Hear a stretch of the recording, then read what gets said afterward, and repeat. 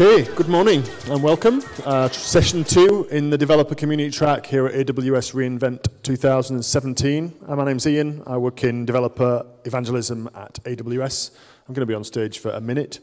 Just to say that this track today features uh, some of the best speakers from the AWS community around the world. Uh, we structured the content here using an open CFP, uh, which we opened up to community lead leaders, AWS, uh, AWS community heroes, and other uh, people that had contributed substantially to the AWS global community over the course of the last year, and that's what we're showcasing in the course of this session today. So we have Ant Stanley, who is the organizer of uh,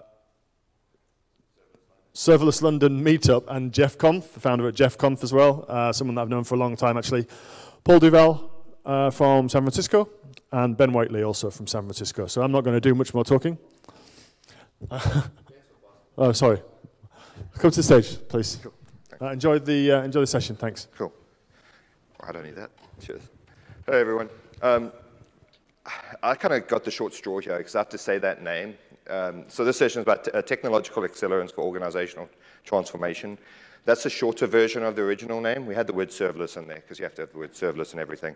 Um, basically, it's, it's how technology is transforming organizations and how organizations uh, need to transform to use technology. And that's essentially the basis of this talk. Um, and that's probably the shortest way we could say that.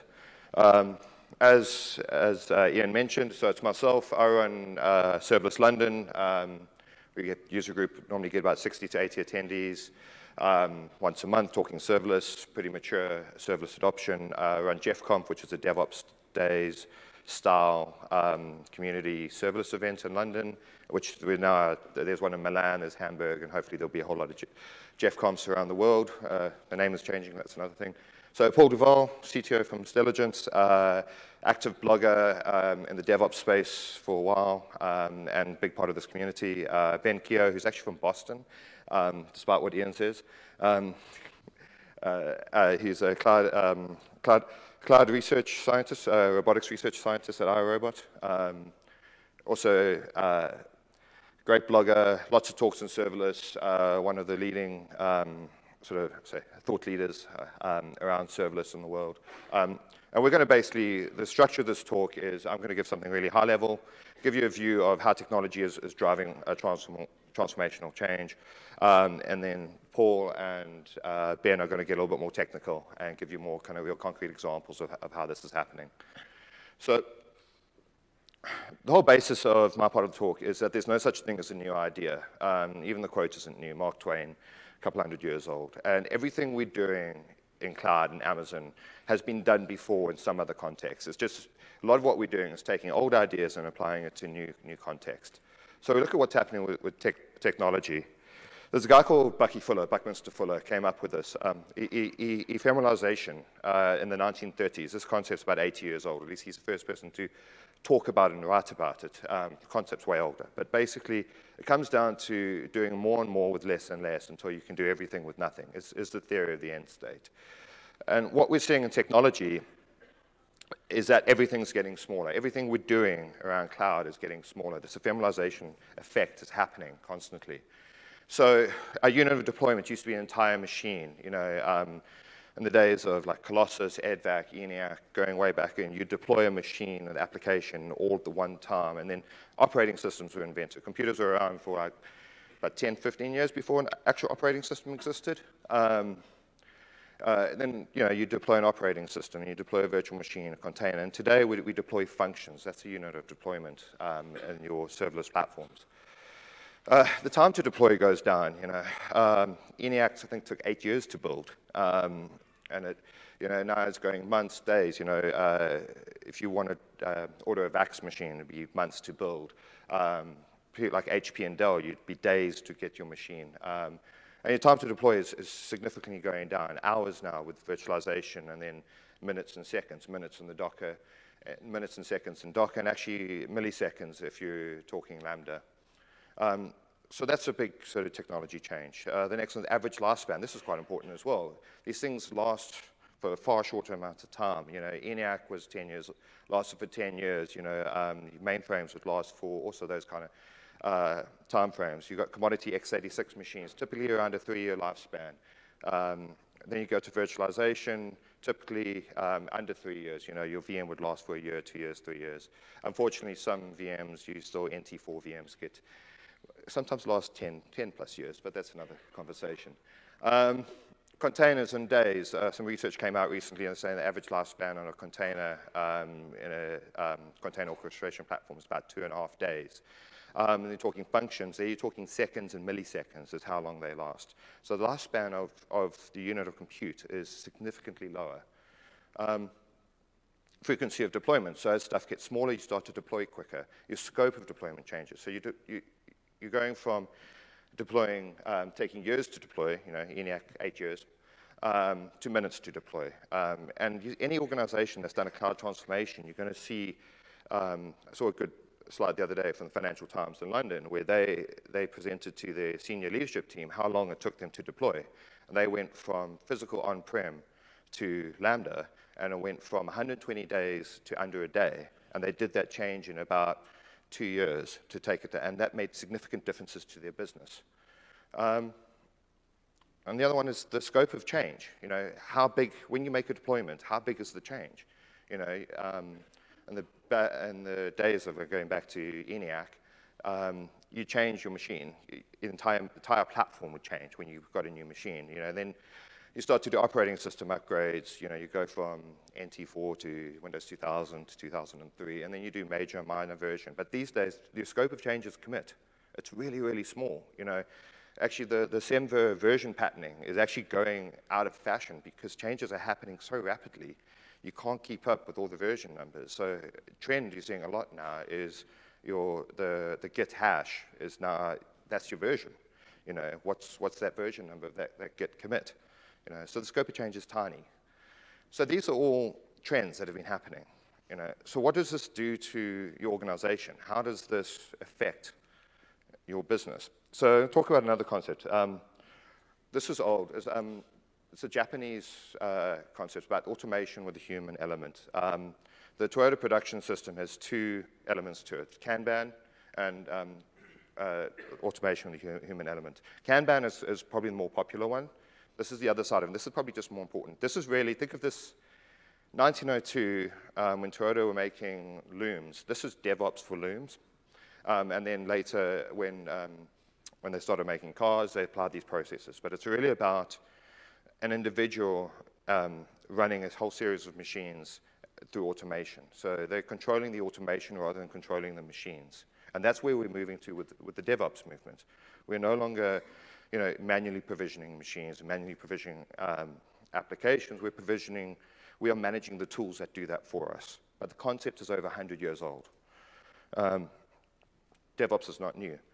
This is another thing that's changing. So any ITIL practitioners in here, anyone who's sat in a change advisory board? Come on, there's more than that. Okay.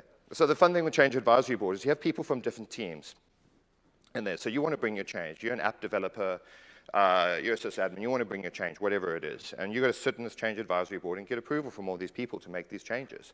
You know, but, you know, and these people sit there, and but what they really are is they're representatives of bigger teams. Now, each of these teams um, had their own objectives they're working towards. You know, the network team was worried about throughput, performance, and availability and capacity of the network. They care about the network. They don't care about your change. They don't care about the value that change might bring to the business. You know, security team's the same thing. Is it secure? You know, um, they don't care about what impact that has on business. The storage team's the same thing. They're all working often at cross purposes to each other. And what they're trying to do often is limit, um, limit the scope of change, limit the responsibility, and limit any potential damage. This doesn't help organizations. It makes change slow. It, it hurts your ability to respond to um, your users' needs. In the cloud world, that's gone. You have one team, your um, product team or agile DevOps team, who are working towards meeting your user needs you get rid of that, that structural um, conflict that ITIL brings in. And that's one of the big changes with DevOps, and it's enabled by cloud. Because if you couldn't automate all those functions, if you couldn't automate storage, you can't automate security, you can't automate that, you can't do this. There's a reason that you know, we, we had that, is because these things were done manually. It was hard to, you had to have deep specialists in these areas. In the cloud, you don't need those deep specialists. You need people who understand that, but what they're focusing on is automation. So, you know, so the trend is we're seeing teams replaced by services. Your storage team is gone, it's an API now. Um, you're seeing consistent standardized interfaces, all API driven, and it's idempotent. So it means that it's, it's behaving in a, a, consistent manner, you know, so you can trust it, and trust is important in cloud. Um, so now you're getting this large array of services automated by a small team, and your focus goes away from, you know, just your little bit to taking full responsibility for the service that you're delivering back to the business instead of taking responsibility for your little item within it. So what happens with this process? This is, this is one of my favorite tweets I've seen in the last year. This is what happens when you start to replace, um, you start to move to the cloud. As this is a GitHub commit, 350,000 lines of code gone. Someone's little hack replaced by two lines of code calling a third-party service. Or as Corey Quinn says, you know, when AWS Cloud releases a better feature than your horrifying workaround, every single one of us has a horrifying workaround, and we've done that. Um, but as AWS matures, they've released services, and you'll be able to deprecate these workarounds. Unfortunately, for a lot of vendors who, who try to fill the gaps, um, that can be a bit of trouble too. But uh, yeah, and we're going to get announcements in the next two, two, three days where stuff we built ourselves to meet a need we can get rid of because AWS are going to announce services. We know this. They're going to announce services um, that will replace something we built ourselves, and they'll, they'll replace with something better. And we know it because they do that every year. Um, and this brings efficiency back to you, because that's something you don't have to worry about anymore. So this is another law. So this is uh, Corey Quinn's law. I think Corey's not here, so he's speaking in the next session. Um, and this is going to happen. So there's other quite famous one that gets quoted a lot. So you know, organizations design systems, systems will look like the communication structures within an organization. Conway's Law, 1968. Conway's law was derided for most of for, for about 30 years, only until MIT and Harvard did separate studies validating it. Pe people actually say, hey, this is real. But these concepts is old. Um, so if we look at the organizational structure under ITIL, you've got your specialist teams underneath. You've got a service delivery layer in the middle between the business at the top, um, providing essentially the communication and abstraction of that team below. But that service delivery layer, service delivery managers, um, your help desk, your um, uh, yeah, your help desk, uh, change managers, and all of that. What they end up doing is they provide a bottleneck, and that, that's how you get this department of no, because they're trying to deal with all the requests from all the business units and they're trying to manage those requests back to these other teams who are all working across purposes against each other. And that's the old structure. That's what ITIL tried to do, but it kind of had to do it because if you didn't have that, that layer, those teams below would get flooded and things would fall apart. The cloud, it changes. Every team, every business unit can have a, a team working directly for them, and they have their own AWS account. You know, they have their own cloud account. They, didn't, they are separated from other teams in the business. What they do in one, one side of the business is not going to impact the other. You know, um, someone deploying an app here isn't going to take resources away from another app there. It's not going to take away you know, fiber channel capacity or storage capacity or network capacity from another business unit. There's that isolation, which then allows those business units to move faster, allows those people in those teams to meet the needs of that business unit quicker. And what happens to the IT department? The IT department doesn't disappear. Their role changes. They're no longer looking at managing specialized services. So now it comes around compliance, security, um, education. How do you enable your business to use these services? You know, and this is a trend you see with every company adopting Amazon at scale. One of the big focuses on the IT department is how do we, how do we enable this platform to work for our business? And how do we let the people within the business units realize the value out of that? Um, and that's key to success. You know, you're getting these cloud center of excellences. They're called lots of different names, but you'll recognize them. And that's what the changing face of um, IT organizations look like now. They're closer to the business. So if you look at Conway's law for AWS, what's actually happening is your AWS organization structure now mirrors your business structure. You're getting rid of the structural conflict that happened before. Um, and AWS organization API helps enable that because you now have that better segregation of accounts um, and you get that better isolation between business units. So what does that look like in the end? Um, yeah, it's basically kind of this. So you're going to have AWS accounts uh, per business unit, and then individual developers have AWS accounts. And if you take your organization uh, map and you put it up against um, a, a, map of your, um, your org chart against a map of your AWS organization accounts, if they match, you can have good structural alignment and you can be able to move faster. Um, so, you know, it's new old challenges. It's a challenge we all have. So this is Alex Stamos. He's a chief security officer at Facebook. And the one biggest challenge we should, if you're working with the IT department, is how do you keep your company secure and compliant um, while allowing the culture to blossom? You know, and this is not a new challenge. It's what every, all of us should be doing. And AWS enables that. So last slide. Here's two, two products that are enabling you to do that. So Barclays are talking, I think, 230 uh, about a new platform called Persephone, which enables this for their business, enables them to roll out AWS accounts to everyone in the organization. And they have 20,000 developers. So that is not a small feat. Um, watch it on YouTube because you want to be here for the next session. Um, and then Capital One uh, released a product about a year and a half ago, Cloud Custodian, predating that enables this. So the technology is there that enables all of that. So I'm going to hand over to Paul now. Um, and he's going to kind of going to go deeper into what this actually looks like and you know how you'd actually do this at a more technical level. Thank you. All right. Thanks a lot, Ant. So um, I'm actually from Northern Virginia, by the way. Uh, I like to refer to as US East 1, pretty close to there. Um, and so, as Ant mentioned, I'm going to be going over some specific examples around organizational transformation utilizing technology. And just a little bit about myself. Uh, my background is in software development. Uh, really, from the very beginning, I've been interested in the end-to-end life cycle. So, not just the application development, but build, deploy, security, databases, everything it takes to put a software system together. Uh, probably what you would refer, refer to as a full stack developer today, but yeah, way in the old back days. Um, and I was often really frustrated by the time it would take to deploy and release software changes to users. And as a result of that, I got interested in practices like uh, daily builds and integrating more frequently, which led me to write a book on continuous integration that came out in 2007. Around the same time, I also co-founded a company called Stelligent. And Stelligent's focus is and always has been on helping customers release software uh, changes to users whenever they choose to do so.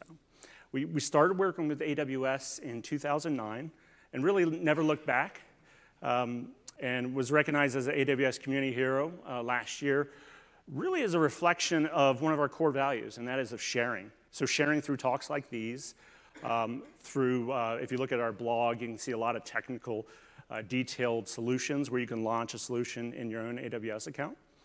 Um, and then open source projects. And so I'll be sharing some of those open source projects as part of the solutions I'll be going over today.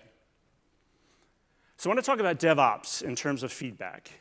And if you look at a typical software development lifecycle, on the one side you have customers, on the other you have developers. And so a developer might come up with a new idea for a feature, they're going to implement it, build it, test it, put it through a release process, until it gets delivered to production where your customers can actually start to use it. And it's only once it gets in the hands of your customers are you able to start to learn from it. So you might be able to look at customer usage data or speak directly to customers and, and make some decisions on what you want to work on next. And that's when this whole feedback loop starts again. And so a couple things to consider. One is from, um, from the perspective of your customers, uh, you're only able to be as um, you're only able to speed uh, speed up through the, those feedback loops um, based on how responsive you are to customers and how innovative you are in terms of getting through those loops.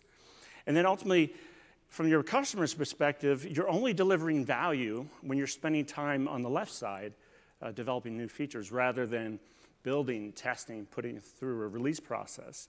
And so you want to spend more time, maximize your time on the left side, and minimize the time uh, that you're spending in the middle, walking through those changes. And that's ultimately what DevOps is all about, is any kind of efficiency that you can drive into the process in order to increase those feedback loops uh, is DevOps. And so that could be an organizational change, could be cultural change, process change, tooling change. Any of these uh, make up DevOps. And that's what I'll be showing today through four specific examples. One is an organizational change, and that is breaking down silos. The, the second and the third uh, examples are making work visible and identifying process bottlenecks, which are more of the process changes. And the last one I'll go over is more of a cultural change of finding and fixing defects as quickly as possible. You can jot this uh, URL down right now. It's stelligent.com DVC 303. I'll show that one more time. But it's going to have links to a lot of the resources, these open source projects, blog posts, and other uh, references to what I'll be going over today. So let's talk about the first problem. So, how do you break down silos? So, this is being an organizational change. If you look at how traditional organizations are put together, they're more project oriented. Um, and so, you might have a project based team that you see on the left, and that project based team is responsible for primarily building the software. They might be doing some testing.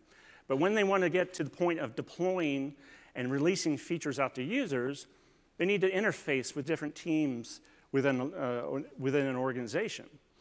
And these functions, these teams might be called something different in your organization, but we're talking about things like release management, change advisory boards, and DBAs, and security teams, and um, when you're interfacing with these teams, you're often introduced to gates in this process.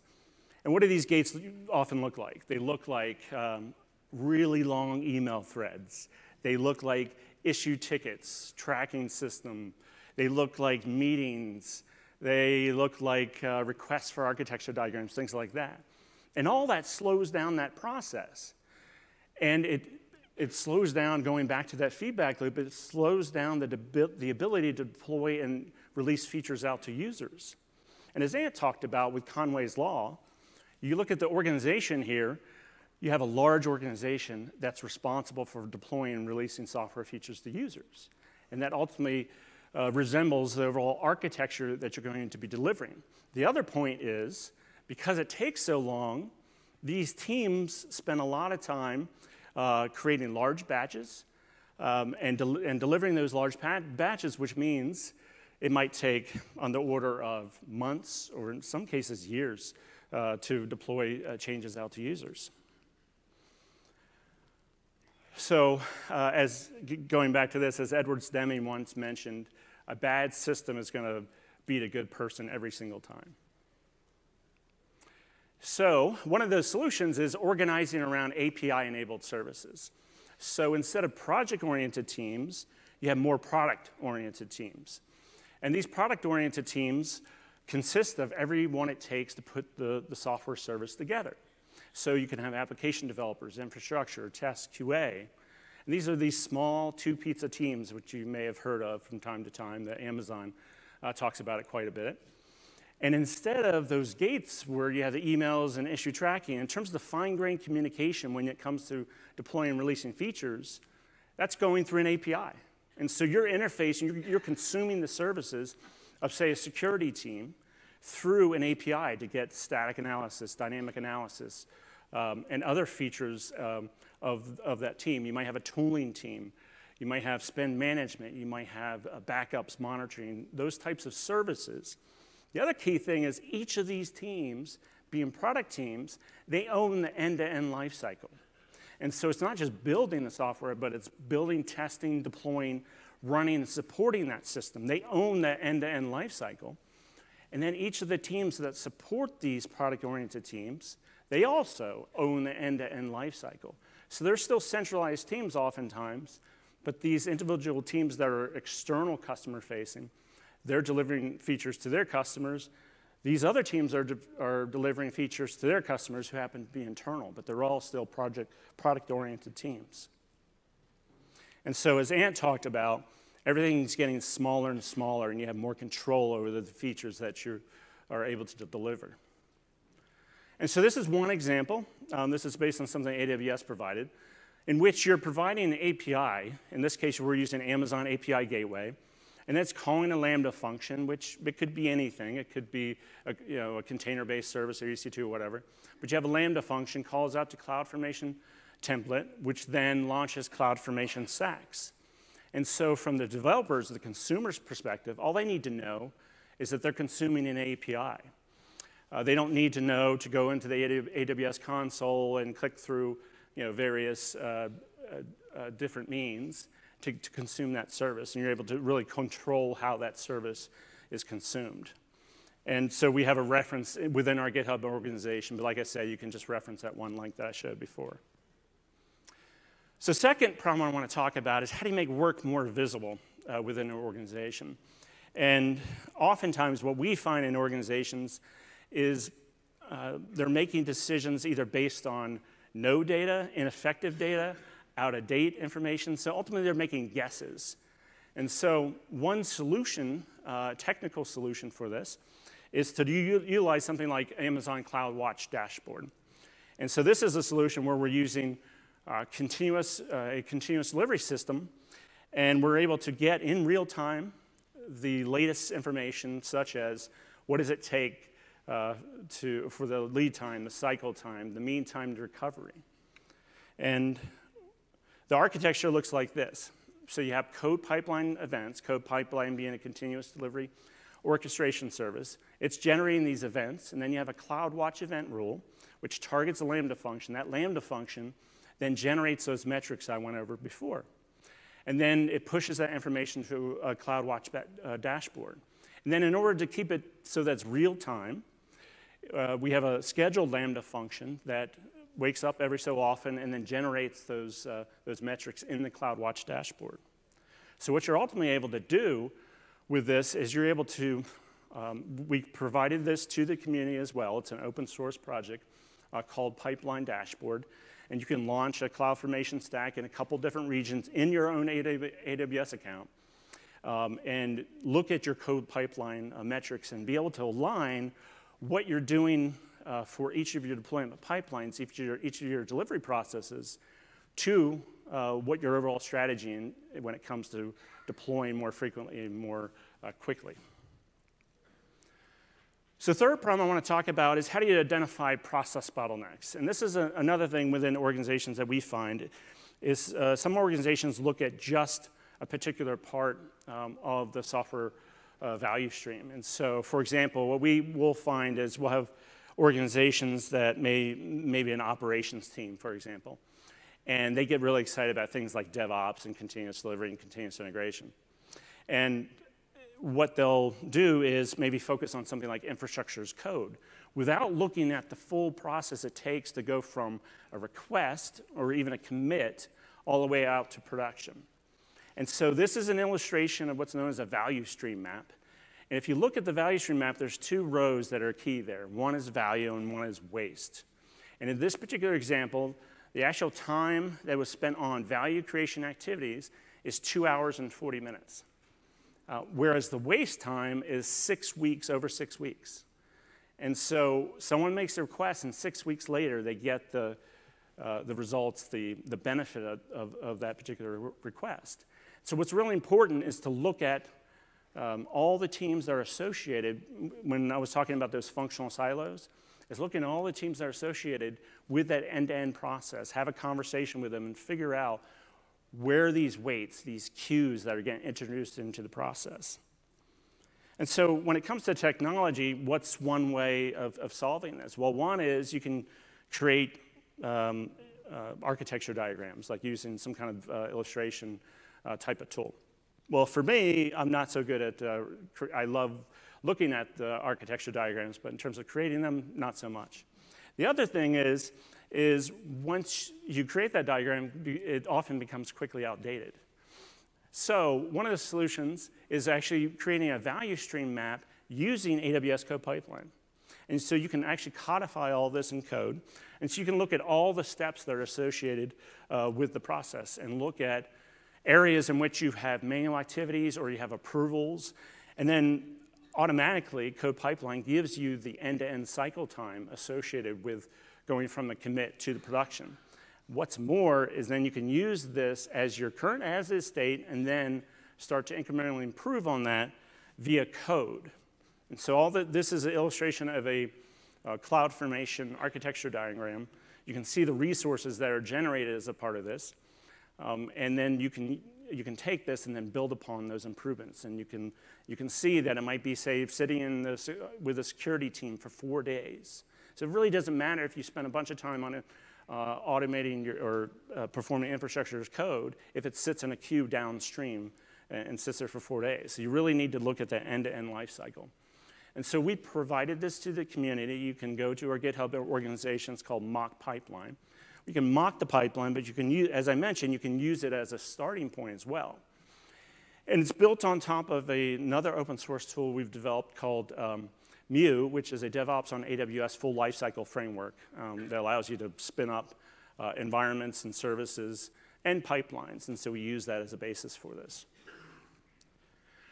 So last problem I want to talk about um, is how do you fix problems earlier in the process? And I, I think we all know that earlier you find the problem or earlier you fix the problem, the less costly and less amount of time. If it's in a broken state, no one can get the, uh, the latest changes and make fixes um, because they're just they're making fixes to an already broken system. So it's really important to identify those problems early.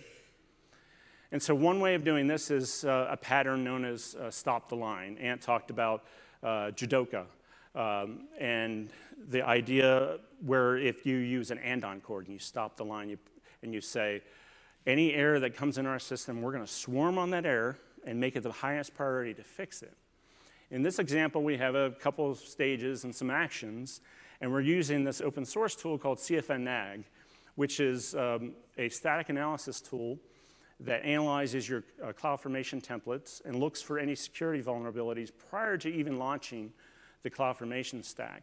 And so we can identify that problem, put it into uh, CodePipeline. But what's more is we can also uh, notify through various means. And this is part of a recent release that uh, uh AWS CodePipeline had with CloudWatch events, where you can uh, trigger a Lambda function, you can um, send SNS notifications, you can update the dashboard, things like that. And so we've also provided this uh, to the community as well. it's a full end-to-end example that you can take and then customize on your own. So in summary, uh, you can, again, go to that, um, that URL that you see up there. We talked about breaking down silos. Um, that's organizational change and, and utilizing uh, the ability to organize around API-enabled services. Uh, the second one is in making work more visible, uh, using Amazon CloudWatch dashboard and integrated with uh, other types of AWS services. Uh, the third one we talked about is identifying process bottlenecks and looking for the as-is value stream map and then in, um, incrementally improving it. And then the last one we talked about is uh, fixing problems earlier in the process um, so we can um, make them less costly, less um, complex to fix. And so with that, I'm going to turn it over to Ben Kehoe from iRobot. He's going to be talking about lessons learned there.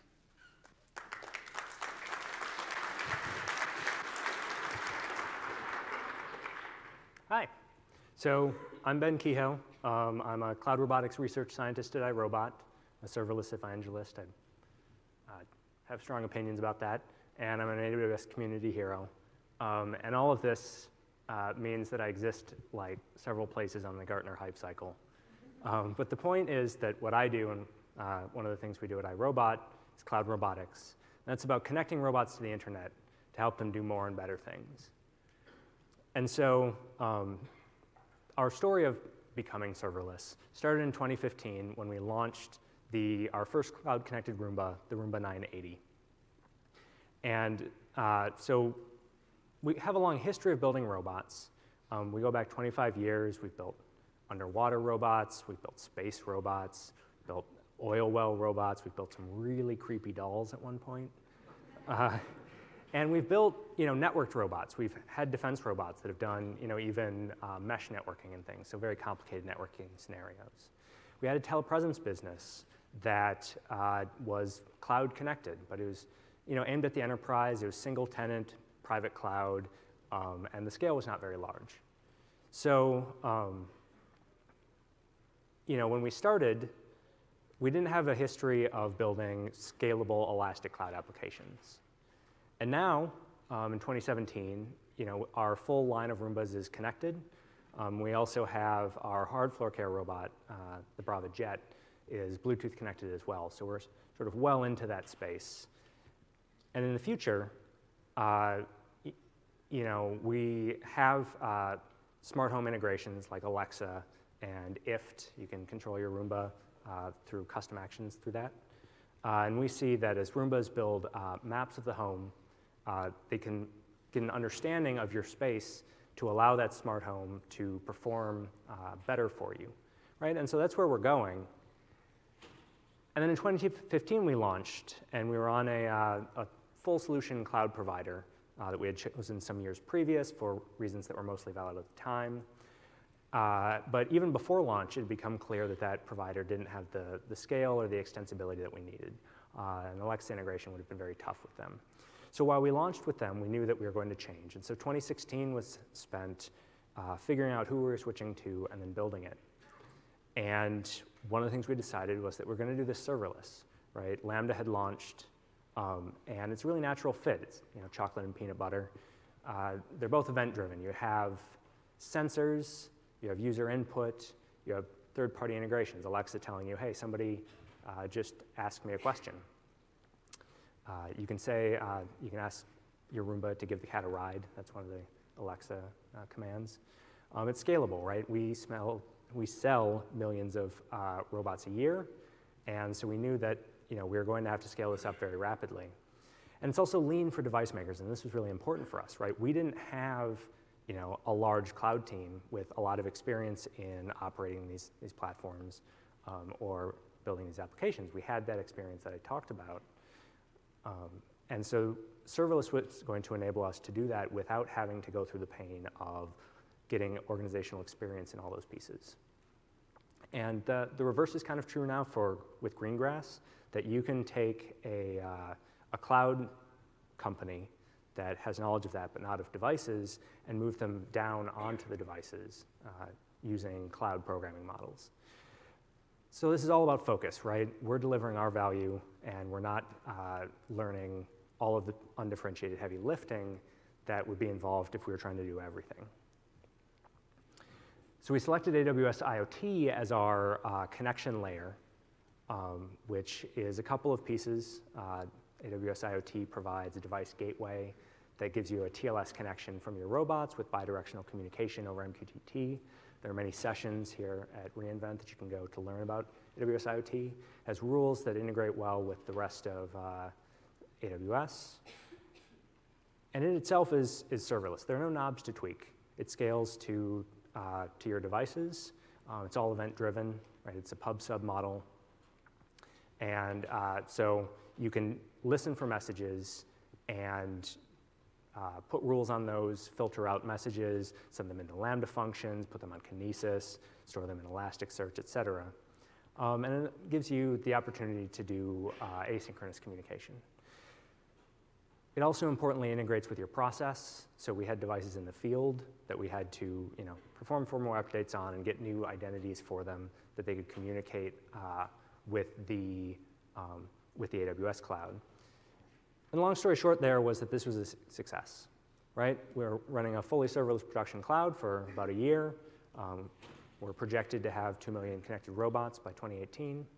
Um, and our analytics platform behind that, mostly serverless, you know, we still have some Spark jobs and things, but with stuff like Athena, that's getting better for us. So this provides the future for a data-powered platform for us. So now, the lessons that we learned from that is that, right, um, the cloud has weather, right? When there are incidents, um, you know, there's a lot of small things that come up. The big ones are the ones that get headlines, but there are things that you'll experience that, that are below that. And setting expectations internally is really important for bringing serverless uh, into your organization. Architecting robustly is key as well, um, but the biggest thing that you're going to learn and the biggest thing that um, you need to take into account when you're making your organization lean and faster using serverless is that visibility into what your system is goes way down. Because you only know uh, what the platform you know, team is telling you about, about that, about their architecture, about their security, about their operations. We don't really know all the stuff uh, and all the ways that AWS does the stuff that they do. Um, there are a lot of things that we know that we don't know about that. There are a lot of things we don't know we don't know about that. The only thing that really keeps us up at night is the unknown, unknown, unknowns. um, because those are the things that will really, really bite you. And so to talk again about, about Conway's Law that you heard about earlier, this is Conway's Game of Life over on the, on the left here, uh, which is a different Conway, but uh, I didn't have a picture of Mel Conway. Um, you want to sort of, as, as Ant said, you want to turn this around to that normally it's talked about as that your architecture is going to reflect your organization.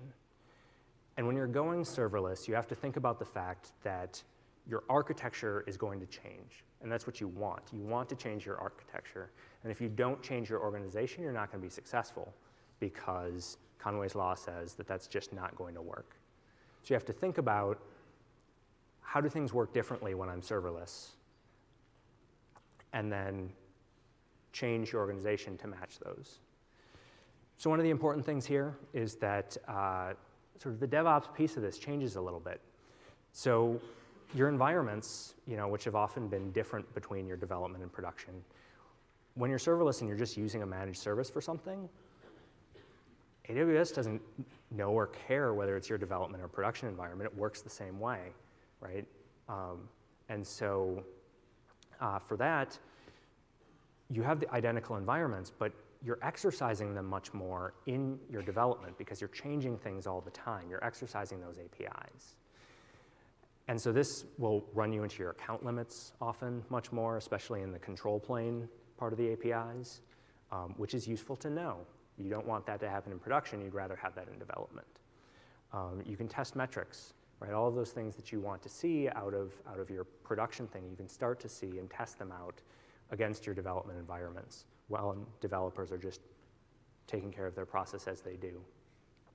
The other thing is that you can also monitor for sort of platform-wide uh, issues through your development environments. Because they're exercising those APIs more, you're more likely to run into something uh, there, which means it can tell you if you're paying attention closely enough before you're hitting production.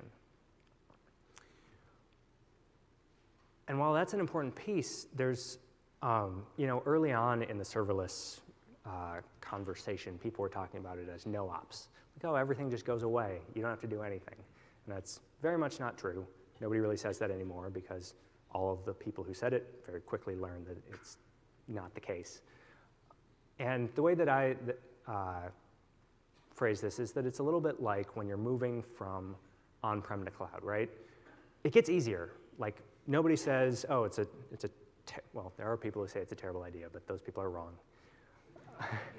uh, and they're probably not here, so I can say whatever I want about them.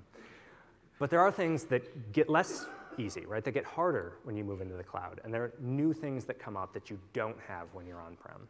And the same thing is true when you move from servers to serverless. So it's easier overall in most respects, but there are new challenges.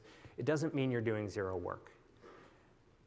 And in your organization, you need to be clear about this, that there are going to be things that are outside of your control that, uh, you know, when there's an incident, you're waiting on uh, your provider to remediate that, right? Or the service to, to come back online. And you feel out of control, and internally, your organization is going to be, uh,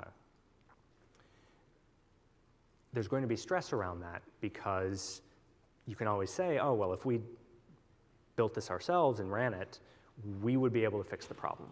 And while that's true, you would probably have problems more often, and the problems would be bigger. And the remediation time would be longer. So you got to keep uh, everyone focused on the total cost of ownership, right? Because not only is, okay, so even if your performance would be better, you then have to hire more people and have larger teams to, uh, to operate and, and develop those systems, which means you're going to run into more of the organizational issues that Ant and uh, Paul talked about in terms of inter-team cooperation. So uh, with that, I think we're uh, about out of time to move into our uh, questions segment.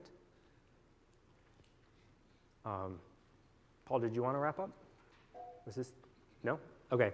Um, so the point is that everything's getting smaller, um, right? This is what Ant Stanley talked about.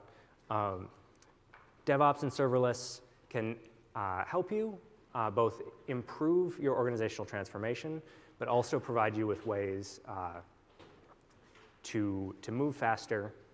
And uh, we've got examples, and uh, it's important to become part of, I didn't write this summary. I didn't realize that I was going to be talking about it. So, um, uh, yeah, uh, now uh, Paul and Ant are going to come back up, and we're going to take questions.